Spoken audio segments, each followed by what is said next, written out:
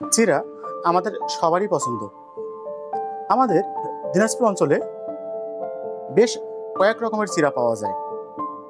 তার মধ্যে একটি একেবারে ব্যতিক্রম চিরা যেটি আপনাদের সঙ্গে আজকে আমি শেয়ার করব। এই চিরাটির নাম দোকানদার আমাকে বলল, কনকচুর চিরা এই চিরাটি একেবারে নরম এবং খেয়াল করুন, চিরার যে দানা, এই দানাগুলো একেবারেই পাতলা ওয়েফারের মতো। আপনাদের আমি আরও একটু ভালো করে দেখানোর চেষ্টা করছি।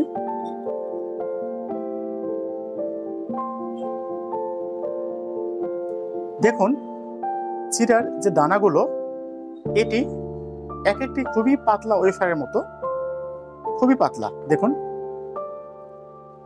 খুবই পাতলা। এই চিরা সাধারণত দুধ দিয়ে খেতে খুবই ভালো লাগে। এটি দুধে ভেজানো মাত্রই খুবই নরম হয়ে যায়।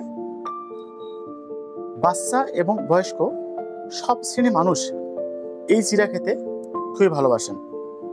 তবে এই চিরাটি একেবারে যে অ্যাভেলেবেল তা কিন্তু না।